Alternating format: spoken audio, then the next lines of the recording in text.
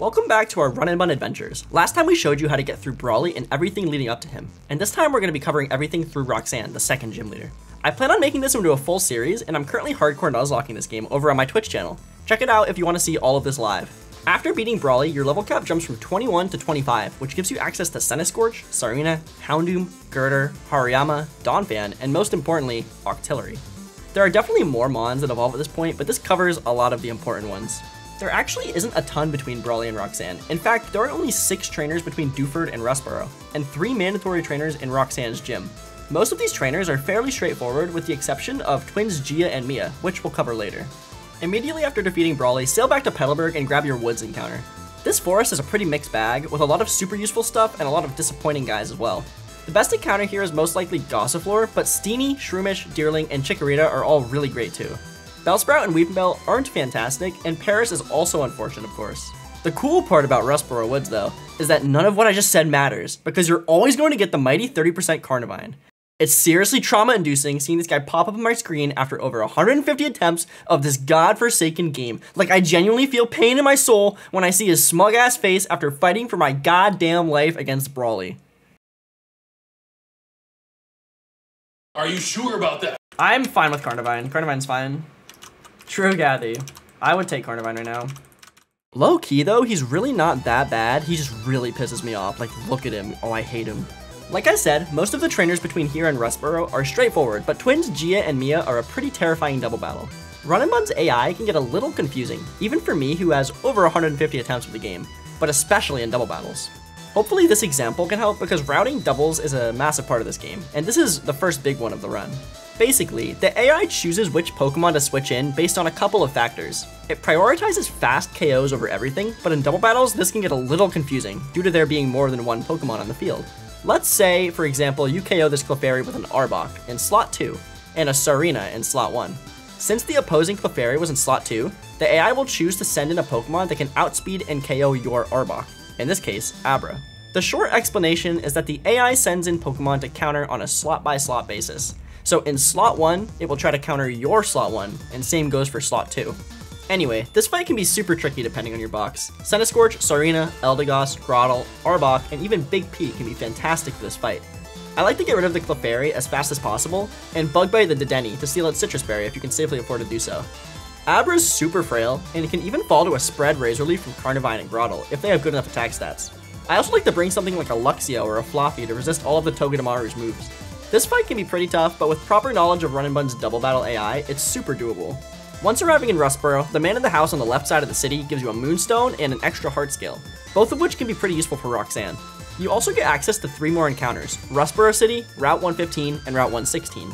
I'd recommend grabbing your 116 encounter, but both Rustboro and 115 can be delayed if you choose to do so. Lately, I've been fishing on 115 rather than delaying, because I honestly really like a lot of the encounters here. Clamperl evolves into Huntail with a Moonstone in this game, and it's a pretty big help for Roxanne if you don't have an answer to her puppy dog. If you want, you can also delay this evolution until you get a Sunstone if you want Gorebyss. Krabby's a great encounter, and often comes to the Roxanne fight as well, and Corphish is also really solid.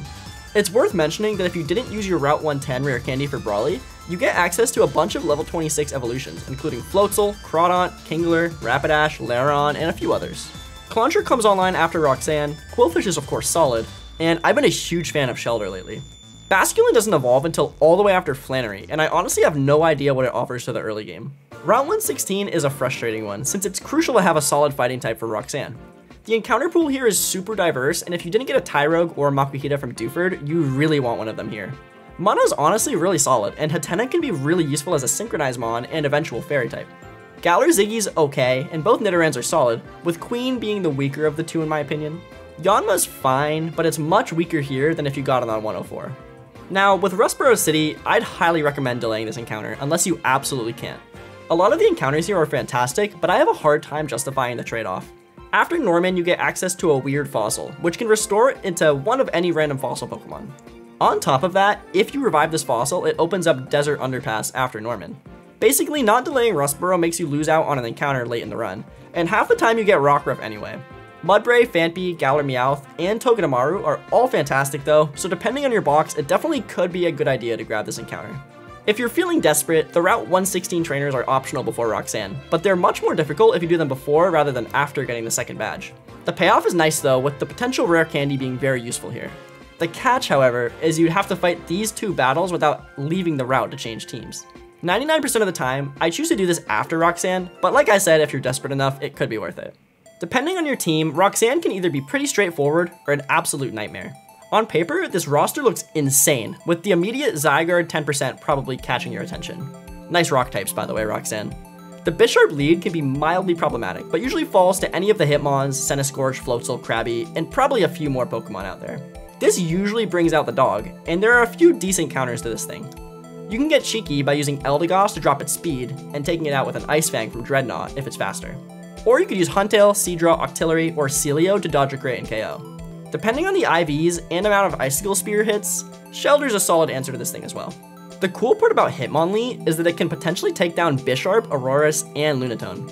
It's easily one of the best Roxanne brings in the game, and one of the strongest early game mons out there. Aurorus can fall to Hariyama, Togedemaru, Hitmonlee, and Floatzel most of the time, and Carracosta to most grass types. Lunatone is surprisingly checked by a lot of fighting types, and you generally want to avoid using super effective moves on it due to its weakness policy stored power combo.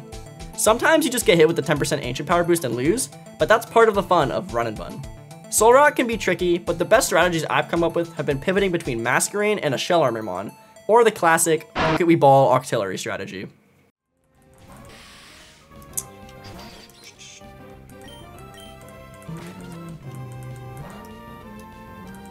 Alright, this range, buddy. It's a really good range for you. You're right, this. Really, really, really good range. Oh my god. What's up, Cody? Okay, well, I missed the one roll. As if this couldn't get anywhere. This is the play now.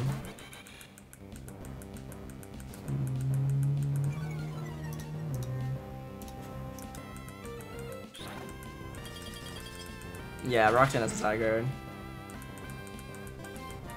this should be Aurorus. Hopefully this clicks Discharge or something. Okay, this crits me again, that's awesome. Okay.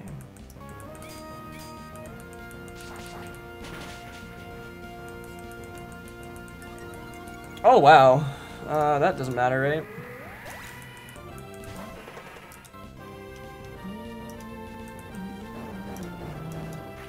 Hopefully I get a bite flinch or something, that'd be pretty sick. Bite flinch, bite flinch, bite flinch, bite flinch, please, please, please. Never lucky. Flinch? Just giving me more chances to flinch, man, come on. Never lucky. Oh my, for sake, that didn't kill. What a low roll, dude. Yeah, I'm gonna lose this 1v1 because my Drednaw's so bad. Finally, bro. Like, what the Why don't I ever get good luck? Obviously, if a certain thing happens, we always lose, and I go to bed.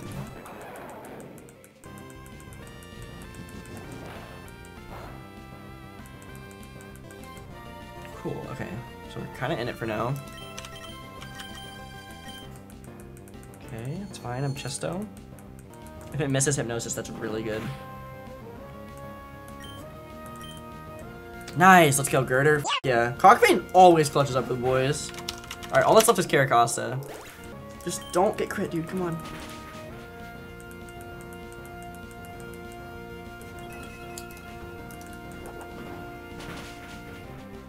Okay. This should always be Aqua Jet, which is perfect, exactly. Oh, wait. Okay, I'm only, or I'm not dead to Rux or Aqua Jet crit. This should always be Aqua Jet though, because it always sees a kill and it's slower.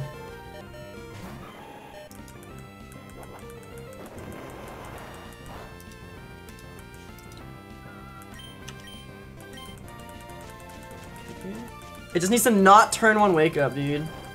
It's gonna wake up, I know it. I just know it. It always does. It's always the first turn wake up. Yeah, I skilled spore. I, I have no answer for this, so I had to. AP into... Thank you for the love of God. Okay. Oh my god. Finally, some okay luck. We'll take it. Tired it might be. We're one death. That was scary as dude. We had no Caracos to answer. Yeah, we'll take the luck at the end. Bolton died. The Galar Slowbro skill check on the horizon. Wattson split is next, and boy is it a fun one.